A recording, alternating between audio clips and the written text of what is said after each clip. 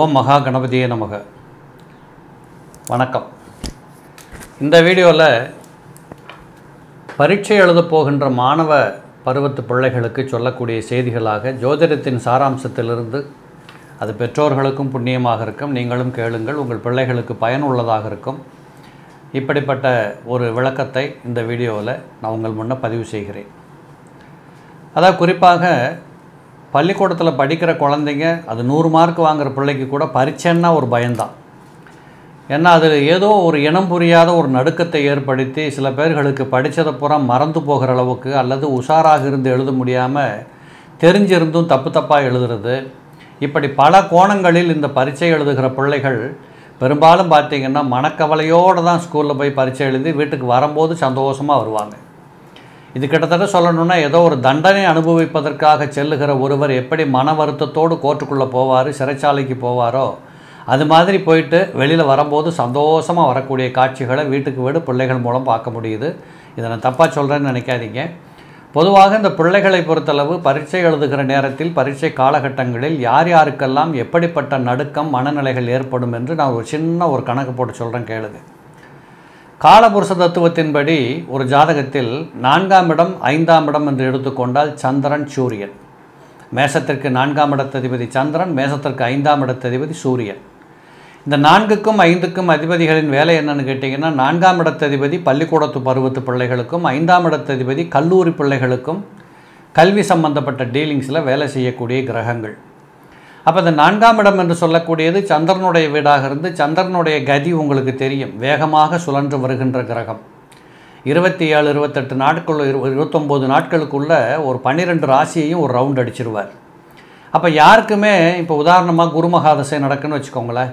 இந்த குருதசை நடக்கக்கூடியவர்களுக்கு தசாநாதனும் நல்லா இருந்து அவர் இருக்கிற வீடும் நல்ல வீடாக இருந்ததுன்னா ஒரு வருஷ காலகட்டத்திற்கு தொடர்ந்து நல்லது நடக்கும். அப்போ சா சாதாரணமாக இருக்கக்கூடிய ஒரு தோல்வியை தழுவக்கூடிய பயந்து போன பிள்ளைங்க அதில் தெளிவாகி பரீட்சையில் ஜெயிச்சு வந்துடுவாங்க ஆனால் இந்த சந்திரன் என்று சொல்லக்கூடிய கிரகம் அப்படி இல்லை. ரெண்டே கால் நாட்களுக்கு ஒரு முறை வீடு மாறுகிற கிரகம். அப்போ இரண்டே கால் நாட்களுக்கு ஒரு முறை பள்ளிக்கூடத்து பிள்ளைகளின் மனநிலைகளில் ஒரு மாற்றம் ஏற்பட்டு கொண்டே இருக்கும். ஒரு ரெண்டு நாள் பார்த்தீங்கன்னா ரொம்ப தெம்பாக இருப்பாங்க. அடுத்த ரெண்டு நாள் பார்த்தீங்கன்னா கொஞ்சம் கஷ்டமாக இருக்கும். அடுத்த ரெண்டு நாள் பார்த்தீங்கன்னா ரொம்ப தெம்பாக இருப்பாங்க. இப்படி சகல விதத்திலும் இரண்டே கால் நாளுக்கு ஒரு முறை ஒரு மாற்றத்தை ஒரு மனநடுக்கத்தை ஒரு உத்வேகத்தை ஒரு குழப்பத்தை ஒரு குழப்பமற்ற நிலைகளை இப்படியெல்லாம் இந்த பிள்ளைகளின் மனநிலைகளிலே ஓடிக்கொண்டிருக்கக்கூடியதை பார்க்க முடியும். அதுலேயும் குறிப்பாக இந்த நான்காம் இடத்ததிபதி இவ்வளோ வேகமாக சுற்றுறதுனால தான் இந்த பிள்ளைங்க மனசில் புத்திசாலியாக இருந்தாலும் முட்டாளாக இருந்தாலும் புத்திசாலியாக இருந்தாலும் மார்க்கு குறைச்சி வாங்குகிற பிள்ளையாக இருந்தாலும் கூட ஒருவித நடுக்கம் என்பது ஏற்படுவதற்கு இது ஒரு அடிப்படை காரணம். இப்போ உதாரணமாக உங்கள் வீட்டு பிள்ளைகளுக்கு வந்து சூரிய தசை நடக்குன்னு வச்சுக்கோங்களேன். இந்த சூரிய தசை நடக்கக்கூடிய பிள்ளைகள் பெரும்பாலும் பார்த்திங்கன்னா பரீட்சை காலகட்டங்களில் ரொம்ப துணிச்சலாக பதிலளிக்கக்கூடிய பிள்ளைகளாக இருப்பாங்க. தெரிஞ்சதை ஓப்பான டக்குன்னு எழுதுவாங்க. என்ன தவறு நடக்கும்னு கேட்டிங்கன்னா நிறைய இடங்களில் ஸ்பெல்லிங் மிஸ்டேக் பண்ணக்கூடிய வாய்ப்பு வரும். அதாவது இங்கிலீஷில் தமிழில் இப்படிப்பட்ட அறிவியலில் டெக்னிக்கலாக டெக்னா டெக்கனா டெக்னிக்கலாக ஒரு லாங்குவேஜ் போடுகிற போது அந்த இடத்துல ஸ்பெல் மிஸ்டேக் பண்ணக்கூடிய வாய்ப்புகள் இந்த சூரிய திசை நடக்கக்கூடிய பிள்ளைகள் பெரும்பாலும் செய்யக்கூடியதை பார்க்க முடியும். அப்போ உங்கள் வீட்டு பிள்ளை சூரிய தசை நடந்து அந்த பிள்ளை பரிச்சை எழுத போகுதுன்னா நீங்கள் ரொம்ப அட்வைஸ் பண்ண வேண்டியதெல்லாம் இல்லை. ஒன்றே ஒன்று சொல்லுங்கள் எழுதுகிற போது ஸ்பெல்லிங் மிஸ்டேக் இல்லாமல் எழுது அண்டர்லைன் பண்ணுறதை அண்டர்லைன் பண்ணு நம்பர் போடுறத நம்பர் போடு பரிச்சை பேப்பரை திருத்துறவங்க பார்த்த உடனே ப பளிச்சுன்னு மார்க் போடுற மாதிரி பேப்பரை கொடுத்துட்டு வா அப்படின்னு சொல்லி அனுப்புனா போதும்.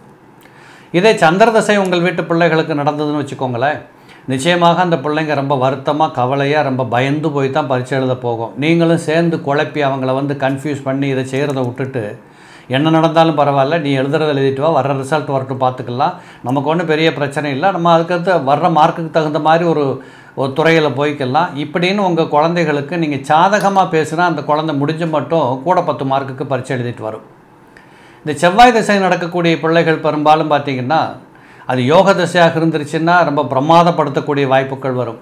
ஒருவேளை லக்னத்திற்கு ஆகாத தசையாக இருந்து பரீட்சை எழுதுகிற காலகட்டத்தில் வந்துருச்சுன்னா ரொம்ப கோபத்தில் அதாவது அந்த பரீட்சை எழுதுகிற போதே அந்த வாத்தியார் மேலே கோபம் வரும். அந்த பரீட்சை அன்னைக்கு ஏதோ இனம் புரியாத ஒரு கோபம் வரும். இப்படி ரொம்ப டென்ஷன் ஆகி எமோஷனல் ஆகி கிட்டத்தட்ட வேகமாக பரீட்சை எழுதி முடிக்கும். இல்லை ஒரு பேப்பரை எழுதாமல் திருப்பி கொடுத்துட்டு வரும். இப்படி சில எமோஷனல் நிகழ்வுகளில் அந்த பிள்ளை பாதிக்கப்பட்டு பரீட்சையில் கொஞ்சம் முன்ன பண்ண நடக்கும்.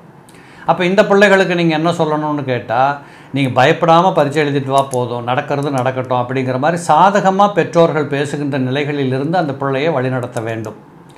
இதே ராகு திசை நடக்கக்கூடிய பிள்ளைகளாக இருந்தால் ரொம்ப பிரமாதமாக படிக்கும் எக்கச்சக்கமாக படிச்சுட்டு போகும். ஆனால் மார்க் மட்டும் கொஞ்சம் கம்மியாக வந்தாலும் வந்துடும் மெஜாரிட்டி இப்படி நடக்கும். மைனாரிட்டி எங்கேயோ சில இடங்களில் ஜாதகத்தில் அடிப்படை கிரக நிலைகள் வலுப்பெற்றிருந்து யோக திசைகள் நடந்தால் மாறும். இதே வியாழ திசை நடந்து நடந்துட்டு இருக்குன்னு வச்சுக்கோங்களேன் கண்டிப்பாக அந்த பிள்ளைங்க யோக திசையாக இருக்கிற பட்சத்தில் பிரமாதமாக பரீட்சை எழுதி நல்ல மார்க் வாங்கிடும். அதேபோல் புதன் தசை நடைபெற்று கொண்டிருந்தால் ஞாபக சக்தியை கையில் வச்சுட்டு இருந்து பிரமாதமாக நல்ல பரீட்சை பரீட்சை எழுதி சூப்பராக அது நல்ல மார்க் வாங்கிடும். ஜாதகப்படி யோக தசையாக இருந்துச்சுன்னா கேட்கவே வேண்டாம் சூப்பராக மார்க் எடுத்துருவாங்க.